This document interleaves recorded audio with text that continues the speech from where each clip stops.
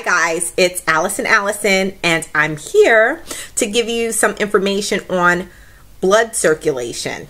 Um, it's something I wanted to talk to you about um, probably last year. Never really got to it. So I think it's time to talk about circulation because circulation is extremely important as you can imagine. okay. So um, let me give you some information about me and what types of issues I've had with circulation. First off, circulation is a problem that I probably inherited from my mother. My mother um, has the same issues as me, extremely cold um, extremities. My hands, my feet, my nose is extremely cold and usually even in the summertime, you can look at my hands and feet and see very clearly that the blood is not circulating properly. Now, how can you tell? Pray tell.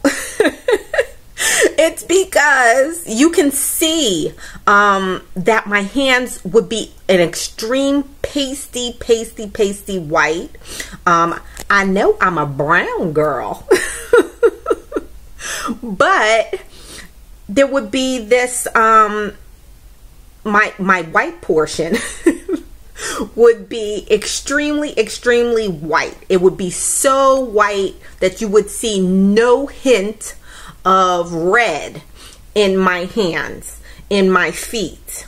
Well you can't tell with my nose so i wouldn't you know put that in there. But i want you to notice something. Look at my hands can you see a reddish tint in my hands? I want you to understand something. This is new for me, okay? Only since I've been taking the earth, okay? My hands were so white. So white that you could just tell there was little to no blood. Obviously, there was blood going through there, but not the way it should be going in there. So I want you to take a look and see the pinkness. You see the pinkness? Alison had no pinkness, okay? Alison was pasty, pasty, pasty, sick looking white. All up in her hands, all up in her feet, okay? So, I know that my blood is circulating. The other thing that was that began um, accelerating as I got older.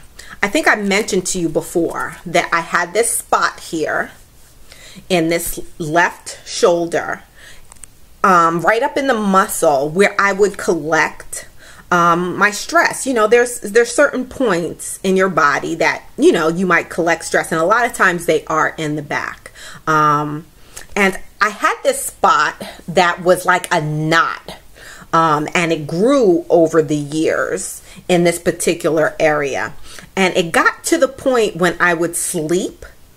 I sleep on my back most times. Look, I'm going back.